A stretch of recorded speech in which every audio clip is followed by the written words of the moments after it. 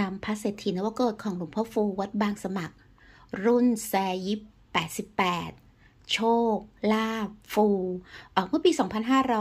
2552มาชมกันนะคะ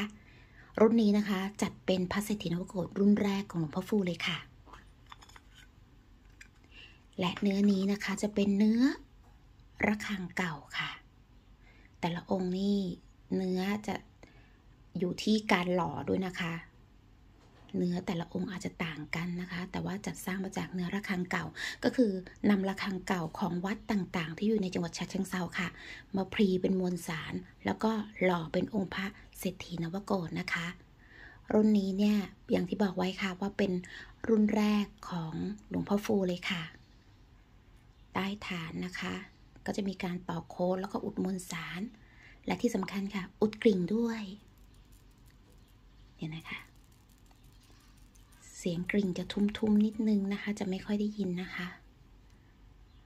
องค์นี้นะคะจะหมายเลข พยายามมุมหมายเลขก่อน เพราะว่าองค์นี้สวยนี่ค่ะใต้ฐาน องค์นี้นะคะหมายเลขก็คือ 3 2 1 ค่ะ